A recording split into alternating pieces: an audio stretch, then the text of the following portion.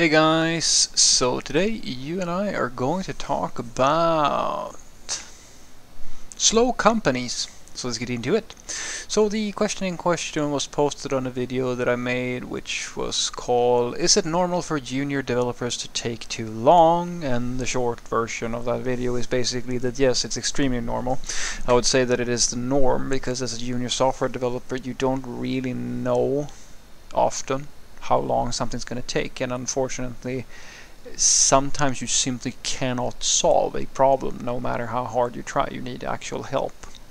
So the question was what would you do in the opposite case if you came you come to a new company as an experienced developer but it's slower than you are used to? So this does happen. Uh, you may not think this right now, my friends, but uh, some of you, not all of you, but some of you, are going to get so good at this programming thing that you are above the curve. Now, when you get to that point, you're going to be faced with a few challenges. And the first challenge is that you will realize that people will hate your guts if you try to play at the level that they are not comfortable at.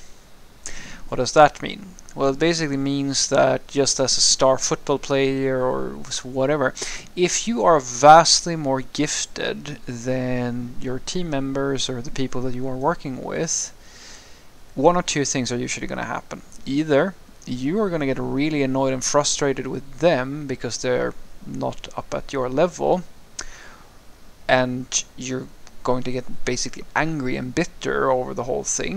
Um, usually the thing that happens before that, on average, is that you're going to try to push your genius ideas, and some of them are going to be genius and some of them are not going to be genius, onto people who are not capable of truly understanding you. They're not going to see the genius that is your mind. And you're going to start resenting people because of it, most likely.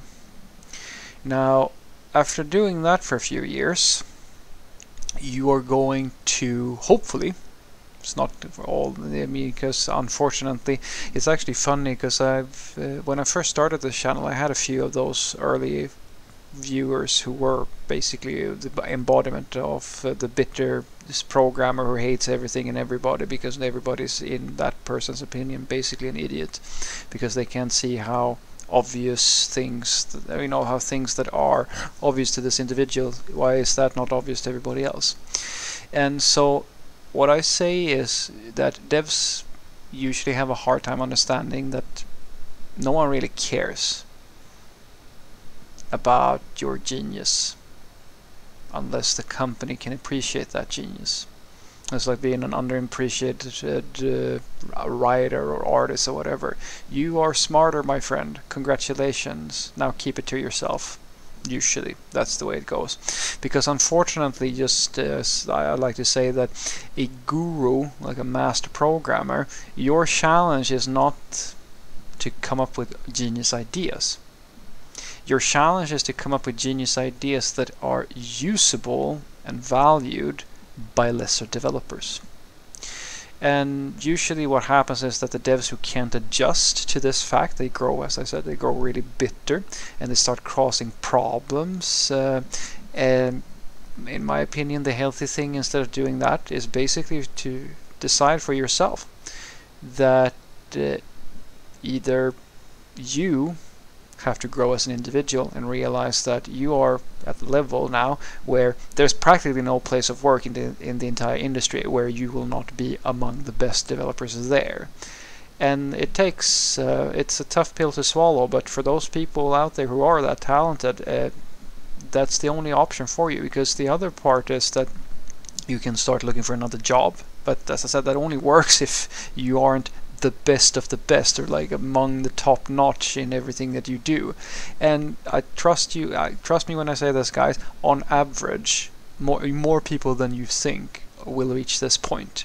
Because reaching that level of seniority and experience is not something it's not like you know being the world champion of something. It's something that is very very feasible for a lot of people to reach that to reach that level. And I can tell you that if you're unhappy, it's just like if something's too hard or if you people are too bitter or like you don't enjoy your place of work.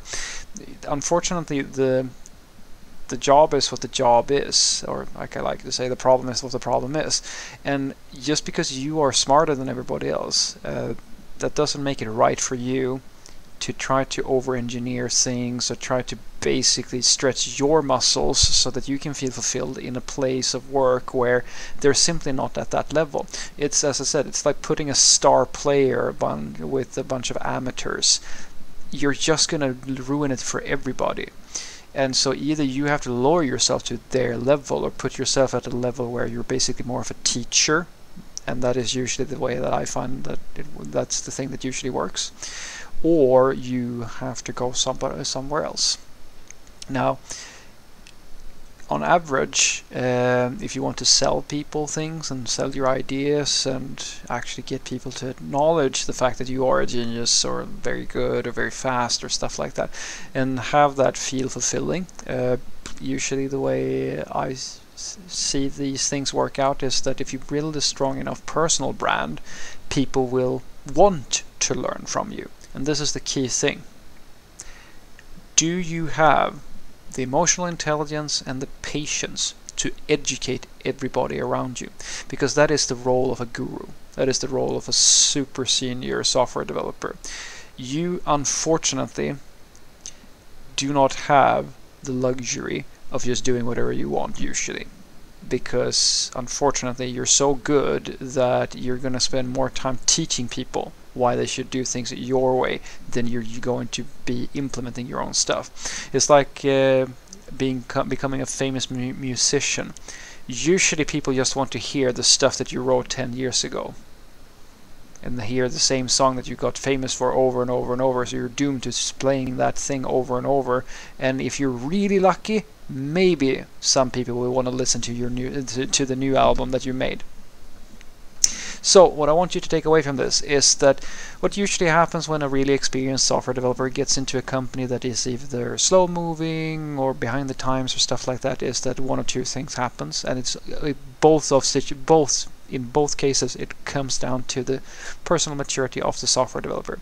Either which it usually starts with, they're going to try to push the entire company in a better direction or like share their genius ideas and try to make people better.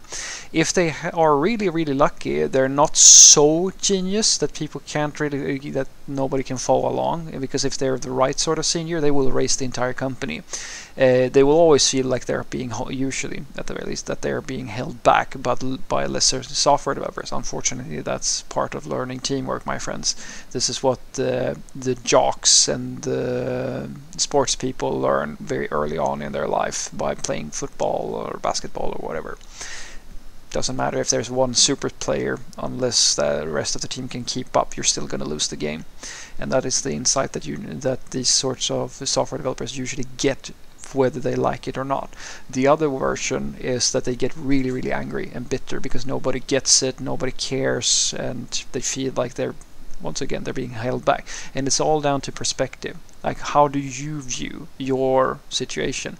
Because the only option is practically always either go somewhere else and work and hopefully you'll find people who are just as genius as you are and can keep up or you start you're going to have to become a teacher and a mentor and trust me when I say this that option is usually the sustainable version because it's only a matter of time trust me if you manage to become a genius level software developer like a really good software developer odds are that you're going to continue that journey and become become so good that practically no team or no company is going to be able to keep up with you. You're simply going to be be so good that most companies have no way of meeting the requirements that you would have to have in order to develop even further. And that's when you start, or at least that's where I think you should start looking at highly specialized work. Either develop your own companies, your own libraries, stuff like that, or becoming an architect or a leader of software developers rather than just a code monkey. Have a great day.